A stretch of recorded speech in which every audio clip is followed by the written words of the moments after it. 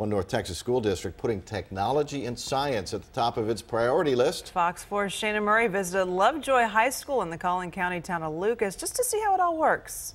Want to tighten this a little bit. Yep, remember you need room so it can move. Students at Lovejoy High School are working to build robots to play a game. And we use this to actually pick up stars on the field and it kind of holds it out. We call this the fork and it holds it like this and then we can dump them over like that.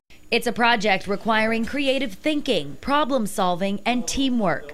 The skills engineering instructor Brian Liddington says students need to be successful.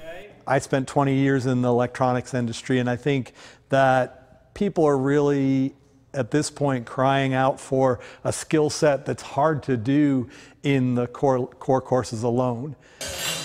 A new wing at the high school provides students the space they need to build almost anything they can imagine. So now we need to get this piece right here. We need to add a screw here and we need to tighten that piece right there. It focuses on STEM. STEM is the integration of science, technology, engineering, and math. We really try to emphasize the real learning skills. We create uh, an environment that would imitate the corporate environment, engineering environment, um, where we're brainstorming, we're coming up with new ideas, we're prototyping, testing, critiquing, and then coming back and revising. Office Depot partnered with Lovejoy ISD to fund the facility. There are 12 classrooms, two engineering labs, five computer labs, and one think tank incubator space.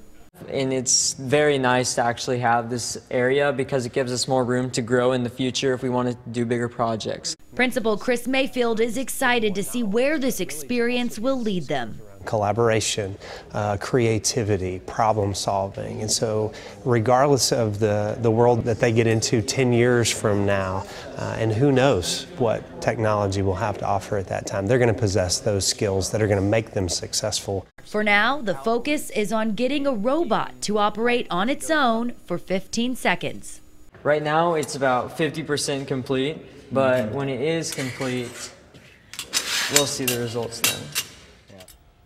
Wow, that was Shana Murray reporting the engineering wing at Lovejoy High School cost $9 million. Uh, thanks to the taxpayers there who passed a bond issue a couple of years ago to pay for it. We need a think tank around here, Evan.